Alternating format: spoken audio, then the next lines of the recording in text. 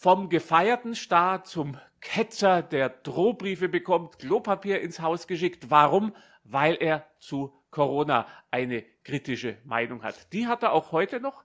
Jetzt geht er in die Politik und er hat klare Vorstellungen, was sich in unserer Gesellschaft ändern müsste und was falsch gelaufen ist. Und darüber spreche ich heute. Ich freue mich schon sehr darauf mit dem Gesicht, das viele von Ihnen noch aus der Wochenschau äh, kennen, aus der Schweiz, Marco Rimo, Rima. Hallo, Herr Rima. Hallo, Herr Reitschuster, freue mich.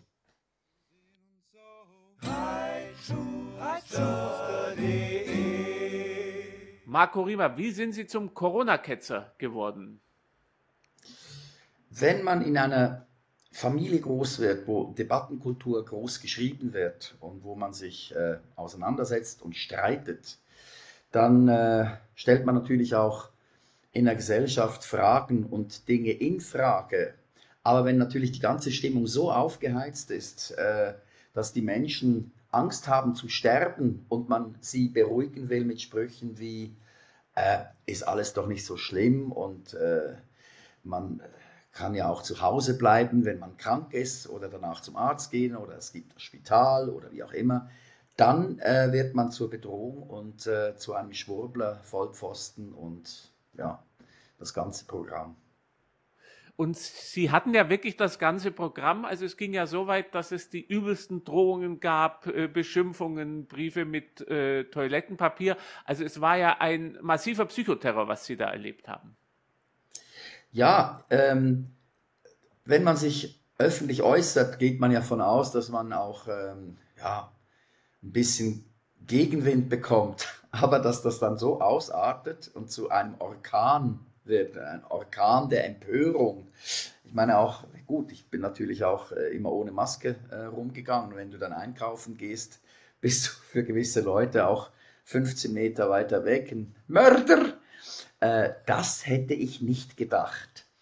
Und äh, da war ich schon sehr erstaunt, vor allem in der Schweiz, wo eigentlich Demokratie hochgelebt wird, Eigenverantwortung, Selbstbestimmung. Und dann haben wir ja noch eine Verfassung, die den einzelnen Bürger vor dem politischen Übergriff schützt. Und äh, da war ich schon äh, so ein bisschen vor den Kopf gestoßen. Das wundert mich jetzt, weil in Deutschland hatten ja viele die Meinung, auch ich, dass es in der Schweiz nicht so schlimm ist. Also ist das einfach relativ, es war hier noch schlimmer. Aber so wie Sie das jetzt erzählen, war das ja auch in der Eidgenossenschaft sehr heftig. Ja, natürlich sagen die Politiker heutzutage und die Aufarbeitung hat ja bis jetzt noch nicht stattgefunden, aber der, der, es gibt so zwei Sprüche. Man konnte es am Anfang nicht wissen, deshalb äh, haben die, äh, die äh, jetzt eine große Klappe haben, äh, gut reden aber meiner Meinung nach wusste man ja schon relativ schnell, dass es andere äh, Meinungen zu diesem Virus gibt. Und das Zweite ist, ähm, ja, jetzt brauchen wir nicht mehr darüber reden, es ist ja alles gut. Und das stört mich schon. Und genau, äh, wir sind ja noch einigermaßen gut durchgekommen mit weniger Maßnahmen als alle anderen. Und ich habe mich halt immer äh, äh, nach dem bestmöglichen Konstrukt äh, äh, habe ich mich umgeschaut. Das war für mich Schweden. Ich habe auch in Schweden gelebt. Ich rede Schwedisch. Und die Schweden haben einfach gesagt, äh, seid ähm, aufmerksam und empathisch. Äh, und äh, hatten diese ganzen Maskenmist, hatten sie nicht. Äh, und ich habe immer gesagt, warum machen die es dann? also eben in Frage stellen. Aber wenn eine Gesellschaft in Angst und Schrecken versetzt wird, dann hast du schlechte Karten. Und das war sehr bedauerlich. Wie läuft die Aufarbeitung jetzt in der Schweiz? Ja, null und nichtig. Also es gibt keine Aufarbeitung. Das ist ja auch mitunter ein Grund, äh, warum ich äh, versuche, in die Politik zu gehen, wo ich einfach auch sage, es braucht wieder Menschen, äh, die sich trauen, aufzustehen, äh, echte Fragen zu stellen, ohne Angst zu haben, dass sie danach äh, nicht mehr wiedergewählt äh, werden. Das ist ja immer das, das Ding. Also die meisten Politiker von uns äh, die sind ja auch ähm, ja, Interessensvertreter, also die werden von Lobbyisten umgarnt.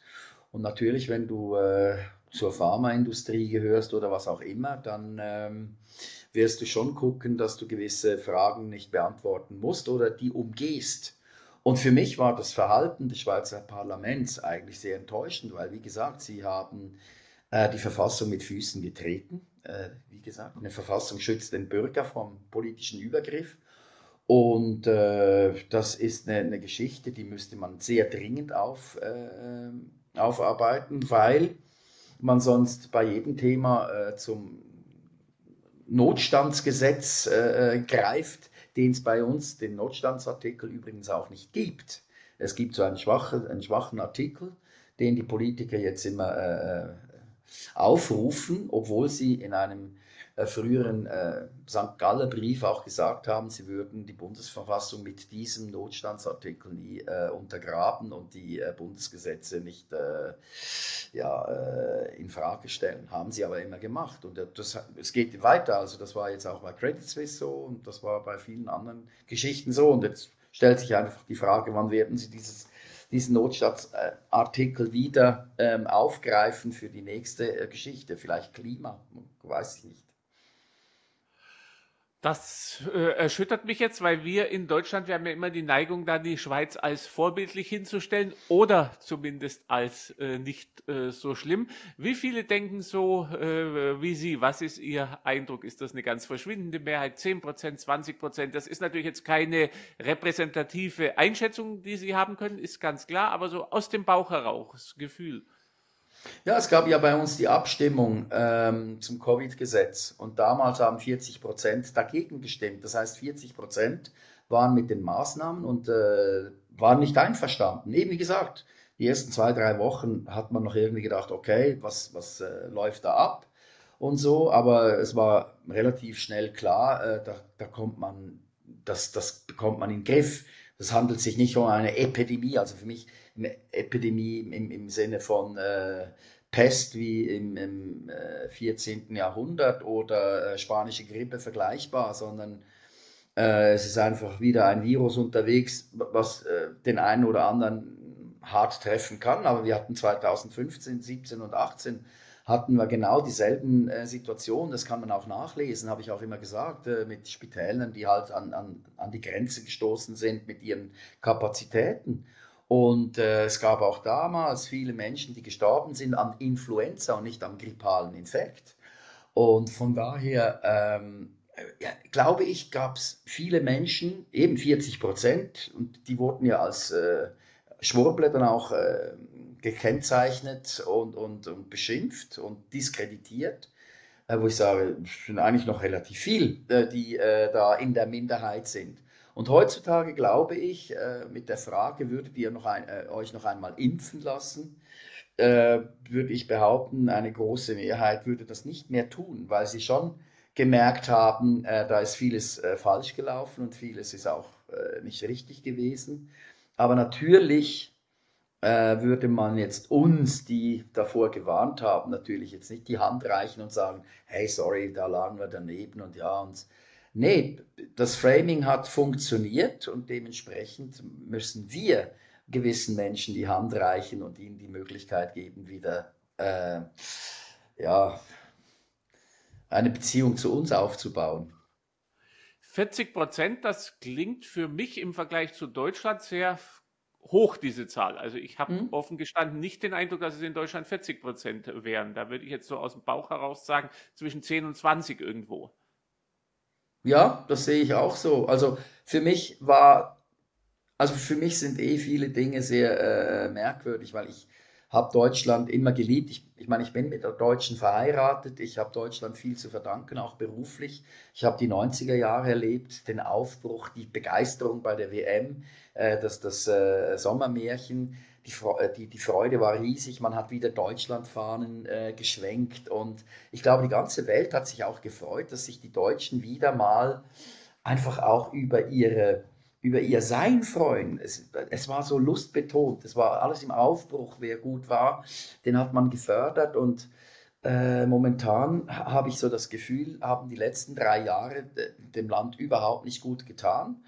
Und äh, für mich ist Lauterbach ein Verbrecher und äh, es ist eigentlich erstaunlich, dass so ein Dummschwätzer und einer, der sich auch nicht erinnert, ähnlich wie Scholz, äh, also Scholzen ist bei uns auch so ein Spruch, wenn, wenn du dich nicht an Dinge erinnerst, dass solche Leute eigentlich in, äh, in der Position sind, äh, wo sie eigentlich äh, nach wie vor die Möglichkeit haben, ihren Mist weiterzugeben. Also ich, ganz ehrlich, das äh, erstaunt mich schon, auch mit, mit von der Leyen, mit, mit ganz vielen Dingen, wo ich denke, was geht hier ab? Und äh, da mache ich mir schon Gedanken, ähm, wie es um die auch repräsentative Demokratie in Deutschland bestellt ist. Äh, ja, und, und wenn du dich ein bisschen umfragst, und ich meine, ich hatte auch wirklich äh, Kontakte zu Menschen, die auch in der Big Pharma waren. Und wenn du die gefragt hast, sag mal, hast du dich geimpft? Dann gesagt, natürlich haben wir uns geimpft.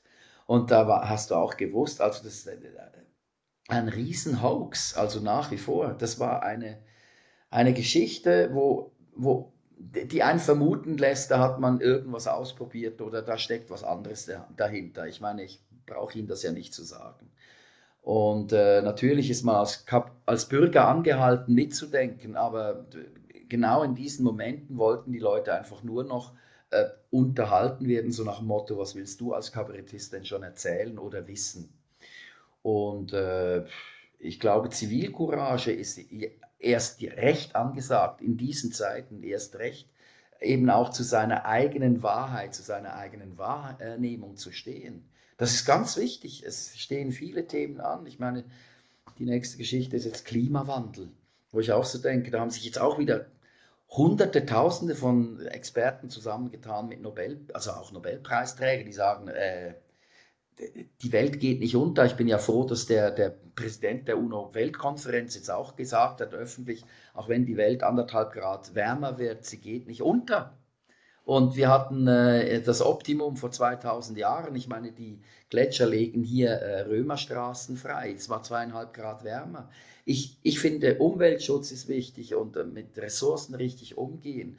Aber diese von einer Hysterie in die andere, da müssen wir raus. Und ich sage den Leuten immer, nimm deinen Blick vom Handy und guck in die Welt und stelle fest, wie schön die Welt ist und genieße es wenn, es auch mal heiße Tage gibt. Ich bin damit aufgewachsen. Ich glaube, die Leute oder äh, gerade junge Menschen müssten halt mal wieder ihre Großeltern fragen, ja, wie, wie war es denn früher? Und ich denke immer so, ah genau, äh, die Straßen haben noch nach Teer gerochen, wenn es so richtig heiß war. Oder es gab mittags ein Gewitter und hat eigentlich noch fast Bäume entwurzelt und dann war es wieder weg und dann sind wir im See wieder schwimmen gegangen und dann abends halt noch eins hinterher. Es ist alles so außer sich und äh, deshalb ist Zivilcourage gefragt im Sinne von seid mutig, stellt Fragen und das hat natürlich auch Einfluss. Wir, wir müssen wieder eine, eine Gesellschaft werden, die eben empathisch ist. Und das heißt aber auch, dass wir das Schulsystem hinterfragen müssen, weil ich möchte keine Gesellschaftssoldaten auf den Weg bringen, sondern eben freidenkende Menschen, die ähm, ja eben auch mal den Nachbar oder den, wen auch immer fragen, geht es dir gut, kann ich helfen, whatever. Das äh, würde mehr bringen, als äh, was die Politik macht, alle in Angst und Schrecken versetzen und Lösungen abliefern, einfach weil äh, sie müssen, weil es gefragt ist. Ja, man hat ja den Eindruck, es wird ständig mit Angst Politik gemacht und auf Grundlage dieser Angst baut man einen neuen Totalitarismus, weil das eigentliche Problem ist ja, dass abweichende Meinungen verboten werden. Also wenn man wirklich äh, damals, äh, wenn das Ganze demokratisch gewesen wäre, dann hätte man halt gesagt, ja, der Riemer hat eine andere Meinung und der Reitschuster hat eine andere Meinung, wunderbar, die teilen wir nicht, aber lasst die ihre Meinung haben. Aber es wird ja sofort wie im Mittelalter wird dieser Ketzervorwurf dann äh, erhoben. Also man, wenn man eine abweichende abweichende Meinung hat, ob das jetzt Klima ist oder ob das jetzt Corona ist, dann hat man äh, sofort diesen Ketzervorwurf äh, sich, äh, ist man dem ausgesetzt. Und das ist ja etwas, was eigentlich vor die Aufklärung äh, zurückgeht und was auch etwas ist, was der Staat ja überhaupt nicht machen dürfte, weil der Staat muss ja weltanschaulich neutral sein.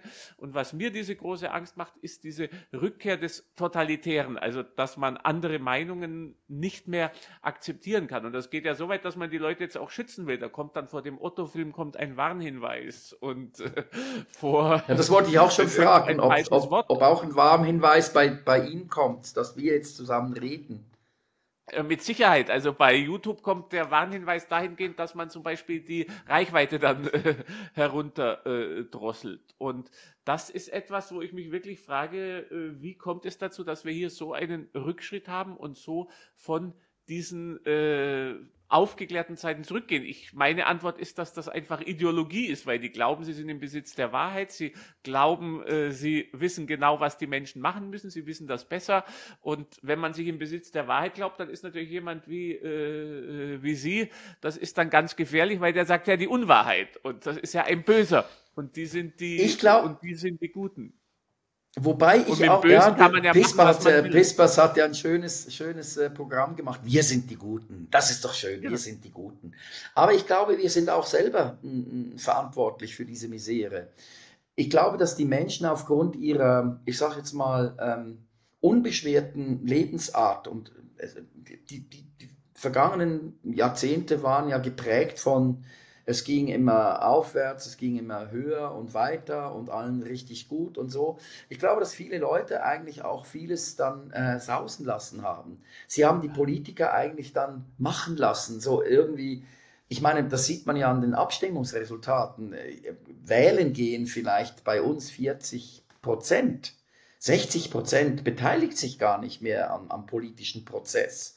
Und das finde ich schon heftig. Und wenn du dann äh, 20 Prozent erreichst oder 25 Prozent eben mit Ideologien, dann bestimmen diese 25 Prozent eine Politik. Und ich, ich rufe die Menschen immer wieder auf, beteiligt euch. Ihr seid eine Stimme, ihr seid Teil des Staates. Und ich sage immer, der, das Volk ist der Chef. Also wir geben ja unseren Volksvertretern äh, das Mandat oder äh, was auch immer, äh, unsere Stimme, damit sie uns vertreten. Und da, ich glaube, das haben wir ein Stück weit sausen lassen und das, das hat eine Eigendynamik bekommen und du merkst jetzt auch plötzlich, ähm, ich meine auch ein europäisches Parlament. Ich meine, der Gedanke, dass wir ein, ein, ein Europa sind, okay, das ist ja alles gut und, und recht, aber es hat sich so verselbstständigt, dass, dass, dass eigentlich die Europäische Union, wenn, wenn was nicht äh, mit, nicht gut läuft, also dann der Schweiz droht. Also es wird ja immer sofort gedroht.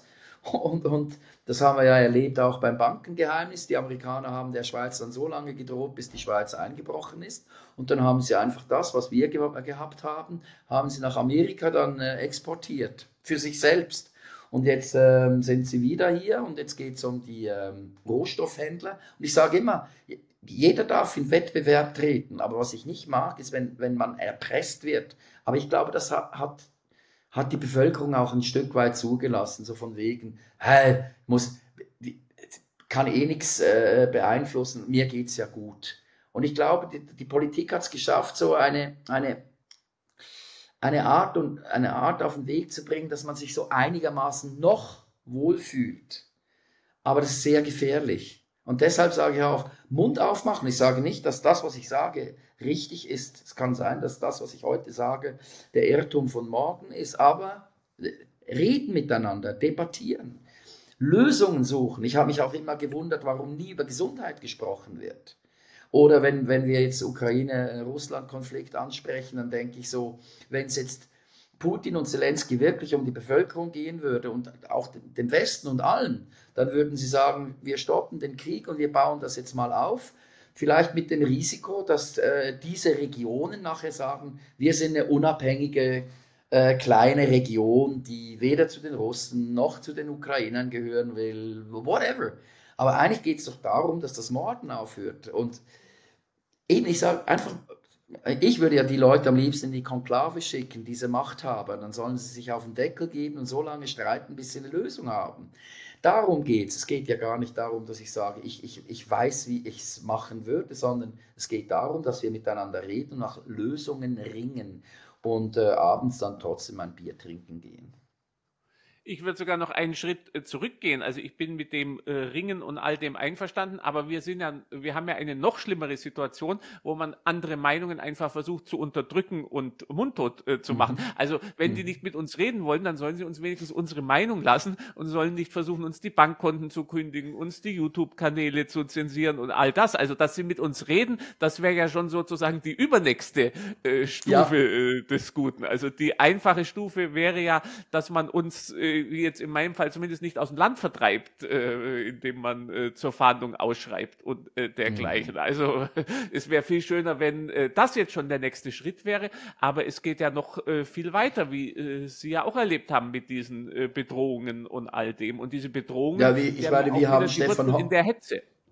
Mhm. Wir haben Stefan Hockertz hier auch mal ganz kurz Asyl gewährt, weil der auch auf der Flucht war und er hat ja nichts anderes gemacht als davor als Infektiologe, Immunologe und als, als, als Wissenschaftler hat er ja die, diese ganzen Firmen auch äh, beraten und, und äh, ja, Teste ausgestellt im Sinne, das kann man auf den Weg bringen, da müsst ihr gucken, was.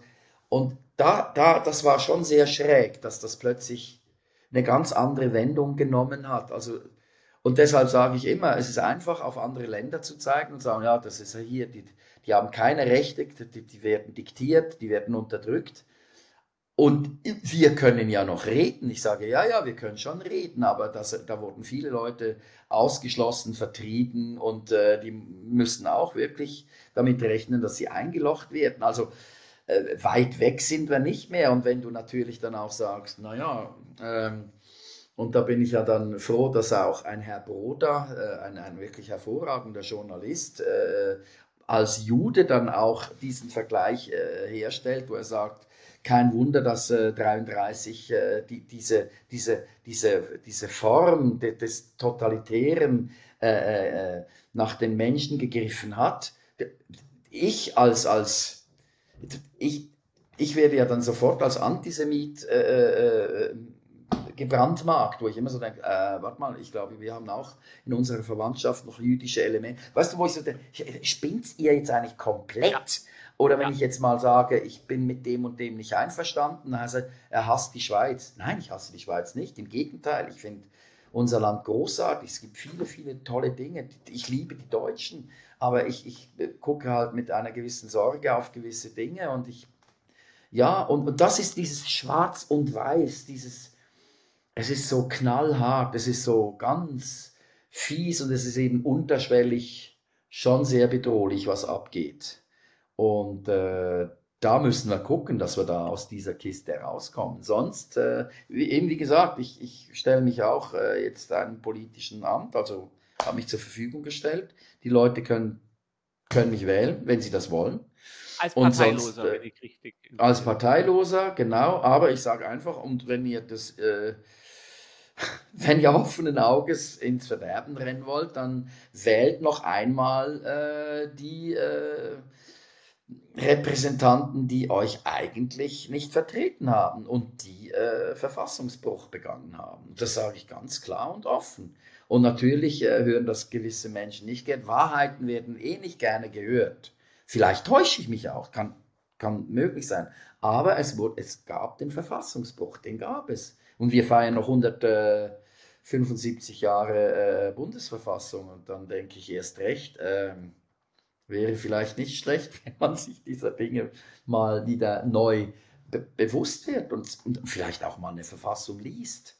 Die Leute reden, es ist wie bei CO2, wenn du die Menschen fragst, ja, CO2 ist das große Problem, weißt du denn, wie viel CO2 in der Luft ist? Dann gucken dich alle an und sagen, äh, ja, so 20 Prozent. Sagst ja, 0,04 Prozent. So, wo ist das Problem? Und wir brauchen es, also dass die Dinge wachsen. Und dann kann man ja mal anfangen, darüber zu reden. Wo sind die Probleme? Was steht an? Und das ist genau der Punkt. Ich glaube, die Leute, die, die leben wirklich in den Schlagzeilen und deshalb geht es ihnen auch bescheiden. Also ich, ich finde, dass wenn ich durch die Stadt gehe, wo ich aufgewachsen bin, da wurde früher wirklich noch gegrüßt. Also hallo und das ist wie weg. Diese, das Fröhliche ist weg. Und das, das ist sehr bedauerlich. Ja, das Schwarz-Weiße ist ein riesiges Problem und das geht ja auch durch alle Seiten sozusagen. Also selbst bei denen, die kritisch sind, die sind dann wieder in anderer Hinsicht äh, schwarz-weiß. Und äh, die große Frage ist, wie schlecht muss es erst noch werden, damit die Leute sich oder damit eine Mehrheit, sagen wir mal so, es gibt ja genügend, die sich besinnen, aber dass eine Mehrheit sozusagen äh, sich äh, besinnt und äh, die, das ist für mich die Schlüsselfrage. Also wie viel Elend und wie viel an demokratischen Grundwerten muss noch zerstört werden und auch wirtschaftlichen äh, Dingen, sehen wir in Deutschland mit Energie und äh, allem, bis es tatsächlich zu einer Katharsis kommt, also zu einer ja, Reinigung ist ein blöder Katharsis, ist eigentlich Reinigung mhm, wörtlich, doch. aber äh, bis es dazu kommt, dass die Leute einfach sehen, wir haben den Karren in den Schmutz äh, gefahren und wir müssen das ändern. Und im Moment, glaube ich, geht es einfach vielen noch zu gut. Wir haben so eine Art Wohlstandsverwahrlosung oder auch äh, äh mhm. Wohlstandsverdummung teilweise. Also spätrömische Dekadenz in äh, Zeichen. Also ich ja, das gerade in. Ja, und. Hm? Ja, also gerade wenn man, ich sag mal, ähm, wo, wobei ich optimistisch bin im Sinne von, das Weltgeschehen, Klima, wie alles andere, Klimawandel kann es ja auch nicht leugnen, sondern es ist alles im Natürlich Wandel. Gibt's den, es ist mal mehr, ist mal weniger und ich glaube schon auch, und das fand ich auch sehr spannend, das hat auch mal Helmut Schmidt gesagt, Dinge verändern sich vielleicht über Jahrzehnte und gewisse Generationen werden die äh, Dinge, die sich dann wieder positiv verändern, auch gar nicht mehr erleben. Wir, wir werden es vielleicht nicht mehr erleben. Und deshalb äh, bin ich auch sehr optimistisch, dass wieder eine Generation kommt, äh, die vielleicht jetzt nicht so hysterisch ist wie die Generation äh, der, der Greta-Anhänger und Friday for Futures und die, die Straße, also die Klima, also die, die, die sich äh, äh, auf die Straßen kleben. Ich sehe das bei meinen Kindern die sind, das sind jetzt schon Rebellen. Eigentlich schäme ich mich teilweise dafür, dass ich ihnen halt so dieses, ähm, ja, diese Form des, dass sie einfach, dass sie sich wehren, dass sie auch äh, Widerworte, das, das gehört dazu. Und sie werden es nicht einfacher haben, aber man wird immer wissen, woran man ist. Und das wird eine coole, das wird eine coole Generation. Und, und ich denke, das kommt schon gut. Und vielleicht das, was Sie auch gesagt haben, es muss vielleicht wirklich mal hart werden, damit gewisse Leute aufwachen. Ich meine, wenn ich, wenn ich gucke, wir zahlen jetzt schon mit dem Haus, Energie, zahlen wir bestimmt zweieinhalb, dreitausend Franken mehr im Monat. Ich bin in der glücklichen Situation, dass wir das jetzt irgendwie zahlen können, aber wenn ich sehe, mit meinen beiden großen Kindern, die halt ähm, ein ganz anderes Einkommen haben und die, die, die Teuerung jetzt äh, auch greift und die ist weniger heftig als in Deutschland. Ja, da müssen Leute richtig anfangen zu rechnen und mit, mit einem Einkommen kannst du gar keine Familie mehr gründen. Und das ist genau der Punkt, wo man sich einfach auch mal äh, die Frage stellen muss, äh, wie bewerkstelligen wir das äh, in Zukunft? Und das bedingt eben, dass wir eine Debattenkultur haben, beziehungsweise eine, eine Form des Diskurses, dass sich eben Experten und Menschen mit klugen Ideen, Innovationen, kreativen Gedanken zusammensetzen und versuchen, was auf den Weg zu bringen, wo man, ein, wo man Lösungen findet. Wäre auch cool, wenn man wieder so ein, ein Rat der Weisen hat aus Frauen und Männern, wo die jungen Politiker äh, äh ja vielleicht auch mal Fragen stellen können. Rat der Weisen jetzt für diejenigen, die hier hyperventilieren und die sogenannten Gegnerbeobachter. Es sind damit nicht die Weisen gemeint mit der weißen Farbe, sondern die Weisen, die, die Klugen. Wir leben in hysterischen äh, Zeiten. Das ja. muss dazu. Leider ist die Zeit schon rum, aber ich finde, das war ein Schlu äh, gutes Schlusswort. Oder gibt es noch irgendetwas, was Sie unbedingt noch äh, mit hier in, den, in, äh, in die Sendung äh, geben wollen?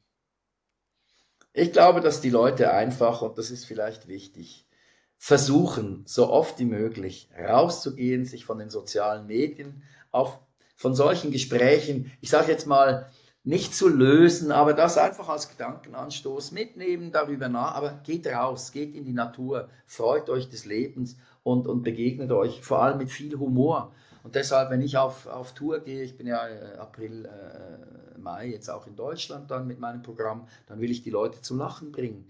Und die, dieses, dieses, diesen, diesen gesunden Seufzer, so, das tut den Menschen gut. Und dann kann man auch sagen, der ist nicht anders als wir. Und ich bin nicht besser und nicht schlechter, äh, whatever, aber ich denke, die Dinge mit viel Humor nehmen, viel Empathie auf äh, entwickeln und, und vielleicht auch jemanden mal in den Arm nehmen, wenn es ihm nicht gut geht. Das Menschsein, liebenswürdig sein.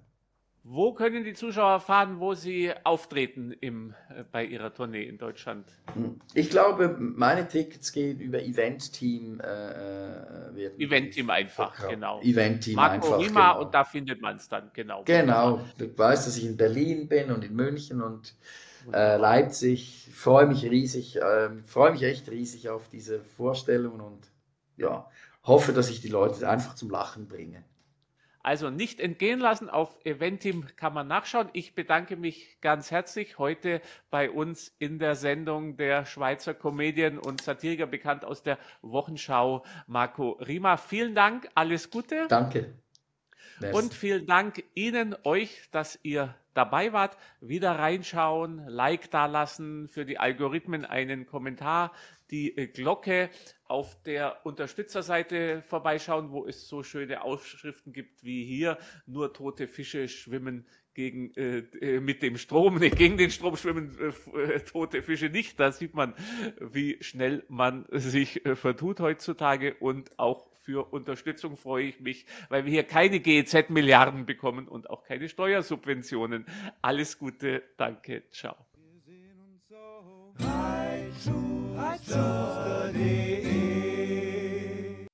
Guten Tag, meine Damen und Herren. Mein neues Buch ist raus, endlich mit Aktien Geld verdienen. Ich bin Max Otte, seit 40 Jahren an der Börse, manage sechs Fonds und habe hier mein gesammeltes Börsenwissen niedergelegt. Auf der Webseite zum Buch www.endlich-mit-aktien-geld-verdienen.de, also endlich mit Aktien Geld verdienen.de, gibt es viel Zusatzmaterial, wenn Sie sich registrieren. Da können Sie dann auch viele Beispiele durcharbeiten. Schauen Sie rein, freuen Sie sich aufs Buch. Ich freue mich auf Sie.